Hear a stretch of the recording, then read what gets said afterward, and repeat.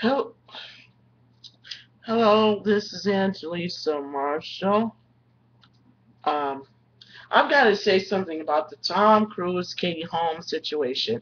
Look, what Katie did was cowardice. It was evil, and um, I disapprove completely. If you want a divorce, tell the man you're not happy. Just say, honey, I'm not happy. Let's talk it over or let's get some counseling. Don't be a punk.